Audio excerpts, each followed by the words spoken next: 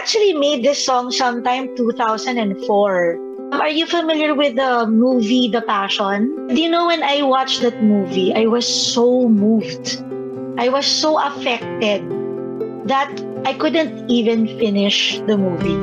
Yung I had to walk out of the theater because I just had this cringing in my soul and ang bigat-bigat because ano ba tayo as people, di ba? Yung ang titigas ng ulo, ang yayabang, reklamador, um, hindi tayo grateful. And yet, if you watch that movie, you'll see the sacrifice talaga, the tremendous sacrifice that the Lord did for us so that hindi tayo yung mag-suffer. And the next day, I still had this very heavy feeling no, coming out of the movie. I just felt so emotional. So what I did is, naglabas ako ng piece of paper and I started just writing very fast what I was feeling at that time. Alam mo, dire-diretso siya, Gian. Walang stop yan. Walang Wow. stop.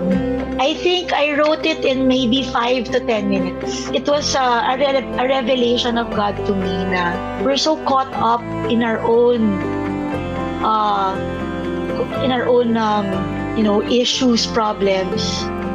When in fact the, here is already the ultimate sacrifice right? We don't have to rely on our own strength right? Because the Lord already finished it. Sabi nga testelestai right? It is finished.